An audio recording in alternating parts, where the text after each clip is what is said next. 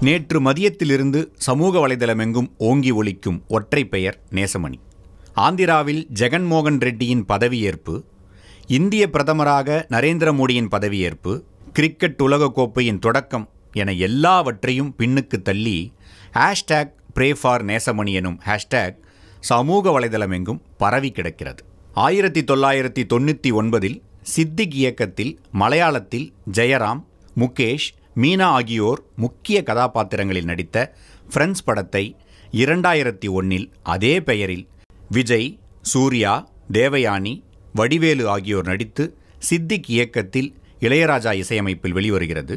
அந்த படத்தில் வடிவேலுவின் கதாபாத்திரத்தின் பெயர்தான் சித்தப்பா என்கின்ற கான்ட்ராக்டர் நேசமணி. ஒரு வெளிநாட்டு மீம் பேஜில் சுத்தியலின் புகைப்படத்தை போஸ்ட் செய்து உங்கள் மொழியில் இதற்கு பெயர் என்ன?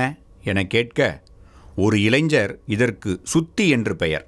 தட்டினால் டங் டங் என சத்தம் வரும் எனவும் ஜமீன் மங்களாவில் கான்ட்ராக்டர் நேசமணியின் தலையில் சுத்தியல் விழுந்து நேசமணியின் மண்டை உடைந்து விட்டதாகவும் சொல்ல அதற்கு பின் நெட்டிசன்கள் பிரே ஃபார் நேசமணி என முகநூலையும் ட்விட்டரையும் தெறிக்க விட்டு கொண்டிருக்கின்றனர்.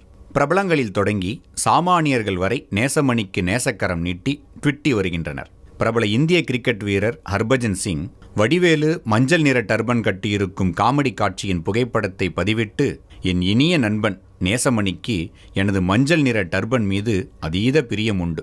இன்று மட்டும் அவன் அதை அணிந்திருந்தால் டச் மீண்டு வா நேசா. ஹேஷ்டேக் பிரேஃபார் நேசமணி என ட்வீட் செய்துள்ளார்.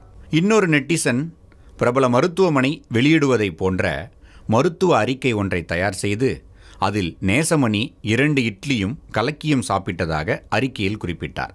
நேசமணிக்காக பிரபல செய்தி தொலைக்காட்சிகள் விவாத நிகழ்ச்சியை நடத்த வேண்டும் என ஒருவரும் பிரபல திரைப்பட நடிகர் மோகன்ராம் வடிவேலு கடவுளை காட்டுவதாக ஊரை திரட்டி சென்று எவன் எவன் பொண்டாட்டியெல்லாம் உத்தமியோ அவனவன் கண்ணுக்கு எல்லாம் கடவுள் தெரிவார் என கூறும் காமெடி காட்சியின் புகைப்படத்தை பகிர்ந்து எனக்கு கடவுளை காண்பித்தவர் நேசமணி.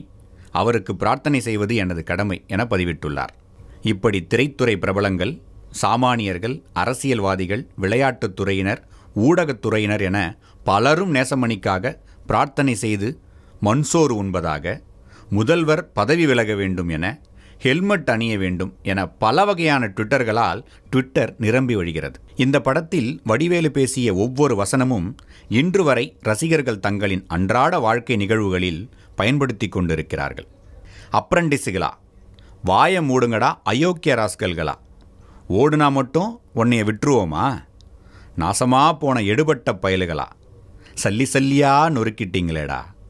நான் கூட புதுசோன்னு நினச்சேங்க. தொடடா. தரைய தொடடா. வாய மூடுடா குரங்கு.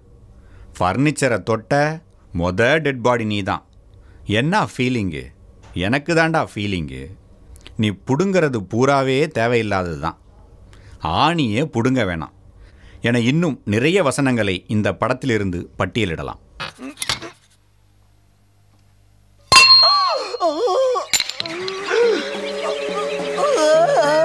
பதினெட்டு வருடங்களுக்கு முன்பாக ஒரு படத்தில் ஒரு நடிகர் செய்த காமெடி இன்று உலக ட்ரெண்ட் அடிப்பதெல்லாம் வடிவேலு எனும் நகைச்சுவை சாம்பவான் செய்த காமெடிகளால் மட்டுமே சாத்தியம். இந்த ட்ரெண்டுக்கு பிறகு பெரும்பாலான நெட்டிசன்கள் தங்கள் யூசர் ஐடிக்கு முன்பாக கான்ட்ராக்டர் என சேர்த்துக்கொள்கின்றனர் உலகமே தன்னை தனது காமெடியை ட்ரெண்டடித்து கொண்டிருக்க இப்படி ஒரு சம்பவம் நிகழ்வதே தெரியாமல் செய்தியாளர்கள் சொல்லித்தான் தெரிந்து கொள்கிறார் வடிவேலு. இன்றைய நெட்டிசன்களின் மீம் டெம்ப்ளேட்டுகளுக்கு பெரும் மூலதனமாக இருக்கும் வடிவேலு எனும் நகைச்சுவை புயல் விரைவில் திரையில் நகைச்சுவை ஆட்சி புரிவார் என காத்திருக்கின்றனர் தமிழ்த் திரை ரசிகர்கள் இதிலிருந்தே நாம் ஒன்றை புரிந்து கொள்ளலாம்.